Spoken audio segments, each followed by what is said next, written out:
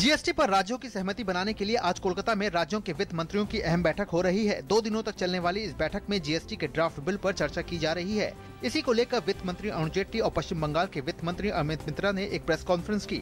वित्त मंत्री अरुण जेटली ने कहा है कि बैठक में 22 वित्त मंत्री हिस्सा ले रहे हैं और ज़्यादातर राज्य जीएसटी पर सहमत हैं। वित्त मंत्री अरुण जेटली ने कहा है कि ये मीटिंग बिल का रोड मैप तैयार करने के लिए थी। इस बैठक में इस बात पर सर्वसम्मति से फैसला हुआ कि जीएसटी की दरों को लेकर कोई संवैधानिक सीमा तय नहीं की जाएगी।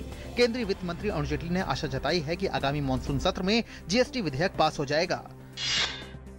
दिल्ली सरकार को संसदीय सचिव बिल पर बड़ा झटका लगा है। राष्ट्रपति प्रणब मुखर्जी ने दिल्ली सरकार के विधेयक को वापस लौटा दिया है। ये विधेयक संसदीय सचिव को लाभ के पद से बाहर रखने को लेकर था, लेकिन राष्ट्रपति ने दिल्ली सरकार के इस बिल को ठुकरा दिया है। ऐसे में सरकार के 21 संसदीय सचिवों को खतरा हो सकता है।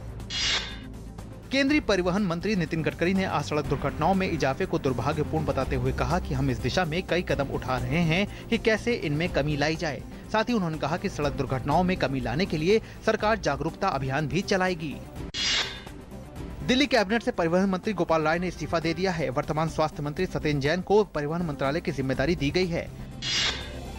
छत्तीसगढ़ के नारायणपुर में सुरक्षा बलों और नक्सलियों के बीच झड़प हुई है। नारायणपुर ज़िले और कोडागांव ज़िले के संयुक्त दल को नक्सल विरोधी अभियान में रवाना किया गया था। अभियान के दौरान लगभग पाँच अलग अलग जगहों पर पुलिस और नक्सलियों के बीच गोलीबारी हुई।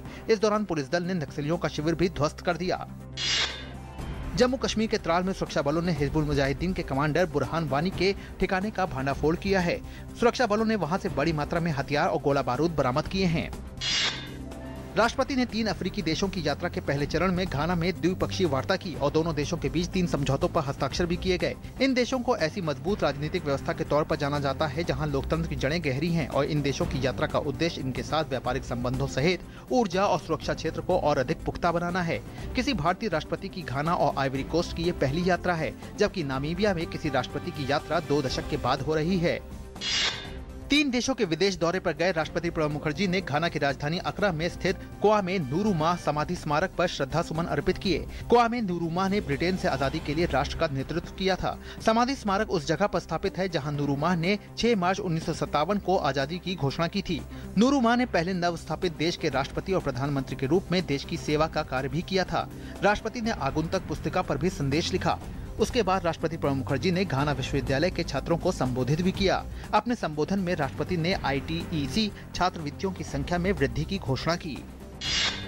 अमेरिकी राष्ट्रपति बराक ओबामा ने कहा है कि ऐसे स्पष्ट सबूत नहीं मिले हैं, जिससे ये कहा जा सके कि ऑरलैंडो के हमलावर को आतंकी संगठन आईएस से निर्देश मिल रहे थे। उन्होंने कहा कि क्लब में हुए हमले की जाँच जारी है और पूरे हमले की जाँच आतंकी घटना के तौर पर की जा रही है। इस हमले में 50 लोग मारे गए थे। फ्रांस में इस्लामिक स्टेट आतंकी समूह के प्रति झुकाव रखने वाले एक व्यक्ति ने सोमवार रात एक पुलिसकर्मी की उसके घर के बाहर ही चाकू मारकर हत्या कर दी। हत्या करने के बाद हत्यारा पुलिसकर्मी के घर में ही जाकर छिप गया और पुलिसकर्मी की पत्नी और बेटे को बंधक बना लिया। बाद में पुलिस ने हमलावर को मार गिराया। फ्रांस के राष्ट्रपति फ्रांसिको होलांद ने इस घटना की कड़ी निंदा की है। हॉकी चैंपियंस ट्रॉफी में आज भारत का सामना दक्षिण कोरिया से होगा। जर्मनी से हुआ पहला मुकाबला भारत ने ड्रॉ खेला था और ब्रिटेन से मिली जीत के बाद बेल्जियम से हुए मुकाबले में भारतीय टीम को हार झेलनी पड़ी थी। भारतीय टीम चौथे मुकाबले में हर हाल में जीत हासिल करना चाहेगी। भारत को अगर मुकाबले में बने रहना है तो इस मैच में भारत को जीत हासिल करना ज़रूरी है। रोल एंड ऑलबेंस की टीम ने शुक्रवार को हॉकी चैंपियंस ट्रॉफी में अपने अभियान की शुरुआत की थी। अपने पहले मुकाबले में जर्मनी को तीन तीन से ड्रॉ पर रोकने वाली भारतीय टीम ने शनिवार को दूसरे मुकाबले में ब्रिटेन को दो एक से मात दी थी, लेकिन बेल्जियम से हार के बाद भारत की मुश्किलें बढ़ गई हैं। फ्रांस में इन दिनों फुटबॉल के मिनी विश्व कप के रूप में समझे जाने वाले यूरो कप 2016 के मुकाबले खेले जा रहे हैं ऐसे में इस प्रतियोगिता के लिहाज से पूरे फ्रांस में सुरक्षा के कड़े बंदोबस्त किए गए हैं इस कड़ी में सोमवार को फ्रांस की सेना ने देश के उन प्रतिष्ठित स्थानों का दौरा किया, जो सुरक्षा की दृष्टि ऐसी बेहद संवेदनशील हैं। भारतीय क्रिकेट टीम का मुख्य कोच बनने की दौड़ में टीम इंडिया के पूर्व कप्तान अनिल कुंबले भी शामिल हो गए हैं। अब नामों की छटाई के बाद सारे नाम सचिन तेंदुलकर सौरभ गांगुली और वीवीएस लक्ष्मण वाली एडवाइजरी कमेटी को भेजे जाएँगे। इसी महीने बोर्ड कार्य समिति की बैठक होगी। उस दौरान मुख्य कोच पद के नाम की घोषणा कर दी जाएगी। आज विश्व रक्तदाता दिवस है। इस मौके पर लोगों को रक्तदान के प्रति जागरूक करने के मकसद से नई दिल्ली के इंडिया गेट पर एक वॉक का आयोजन किया गया। इस वॉक के ज़रिए लोगों को स्वैच्छिक रक्तदान के लिए प्रोत्साहित करने का संदेश दिया गया। इस साल रक्तदाता दिवस की थीम है ब्लड कनेक्ट अस ऑल, यानी रक्त हम सभी को जोड़ता है।